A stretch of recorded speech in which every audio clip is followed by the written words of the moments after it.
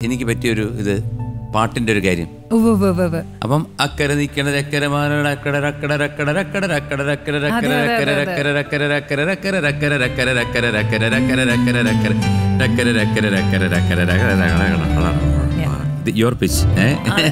ഇതിന്റെ മൂന്നിരട്ടി മേളിലാണ് പാടുണ്ട് അപ്പൊ ഞാൻ ലക്ലി ഞാൻ എ ബി എം ജി തിയേറ്ററിലായിരുന്നു ഈ സോങ്ങിന്റെ റെക്കോർഡിങ് ഞാൻ അവിടെ കാലത്ത് ഏഴ് മണിക്ക് ചെന്നു ശരിക്കും പത്ത് മണിക്ക് ചെന്നാൽ മതി. ഏഴ് മണിക്ക് ചെന്ന് പൂജയ്ക്കൊക്കെ അറ്റൻഡ് ചെയ്ത് എട്ട് മണി ഒമ്പത് മണിയായപ്പം ഞാൻ വെങ്കടേഷ് സാറിന്റെ അടുത്ത് ചോദിച്ചു പാട്ട് എങ്ങനെയാണെന്ന് പറഞ്ഞു. അപ്പോൾ അത് പറഞ്ഞു തരാമല്ലോ എന്ന് പറഞ്ഞിട്ട് ബൂത്തിൽ വന്ന് പറഞ്ഞപ്പോഴത്തേക്ക് ഇതാണ് സംഭവം. അപ്പോൾ ഇത് മൊത്തം നാല് പ്രാവശ്യം. ഇത് ഡിവറ്റാണ് അപ്പം രണ്ട് പ്രാവശ്യം എനിക്ക് രണ്ട് പ്രാവശ്യം ചിത്രയ്ക്ക്.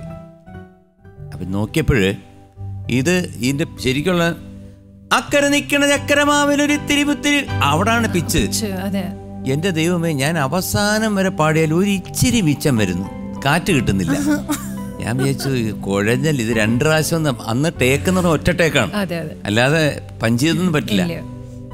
ഞാൻ പറഞ്ഞു "ആ, സാർ ഇത് വന്ന് ഇത് മെയിൽ പോർഷൻ രണ്ട് വാട്ടി വന്നാ ரொம்ப അസംഗമായിരിക്കും അത് അത് ഒരു വാട്ടി ഞാൻ പാടുന്ന അതൊരു വെറൈറ്റി ആയിരിക്കുന്നു അപ്പോൾ എന്നിട്ട് ഞാൻ അവിടെ പോയിട്ട് സിദ്ദിഖിലാൽ അവരാണ് അതെ.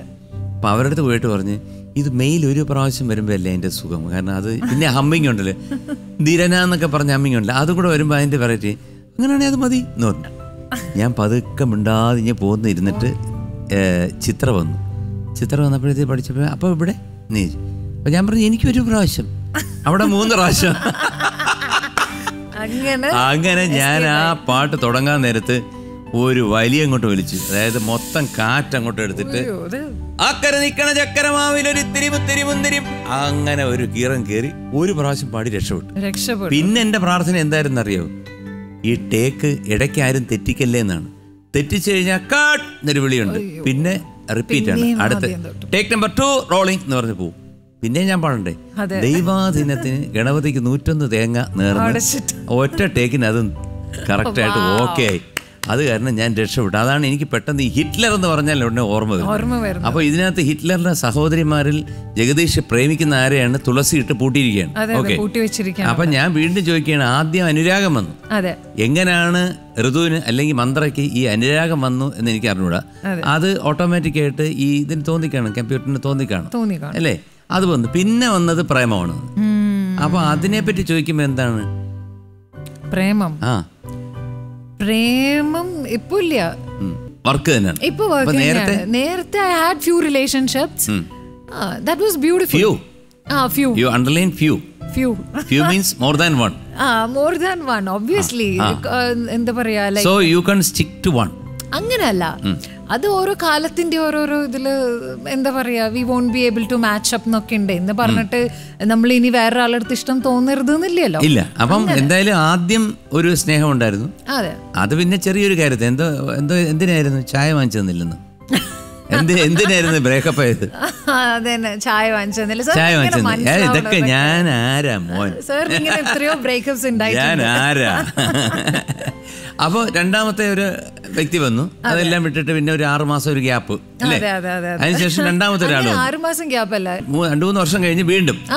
അത് പോയത് എനിക്ക് തോന്നുന്നു പിസ്സയുടെ എന്തോ പ്രശ്നമല്ലേ?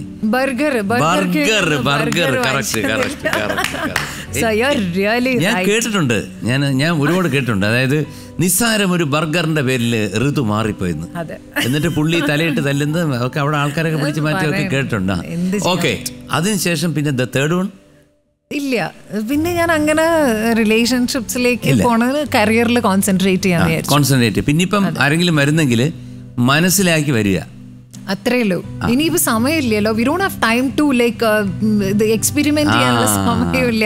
ഇനി വി ഹാവ് ടു ഈ ജീവിതത്തിലെ ഒരു ഒരു ഒരു കാലഘട്ടമാണ് അല്ലേ? ഈ സ്നേഹം പ്രേമം ഒരു adolescence through through after point നമ്മൾ പിന്നെ ഫുൾ കരിയറിൽ കോൺസെൻട്രേറ്റഡ് ആവും. നമ്മൾ we need to be somewhere ആ ഡ്രീമിന് ഫോക്കസ്ഡ് ആയിട്ടിരിക്കും. ഇരിക്കും പിന്നെ എന്തായാലും പിന്നെ finally we have to settle somewhere ആ സെറ്റിൽ സംവെയർ അത് ഞാൻ പറഞ്ഞത് വെച്ചാൽ for ഗേൾസിന് first you need to you know finish your education ആയിരിക്കണം first preference for girls education education ആണ്. ദെൻ നമുക്ക് ജോലി ചെയ്യാ ഡ്രീമിലെത്താ then you can get married to a person നമുക്ക് ഇഷ്ടമുള്ള ഒരാൾ വന്നിട്ടുണ്ടെങ്കിൽ.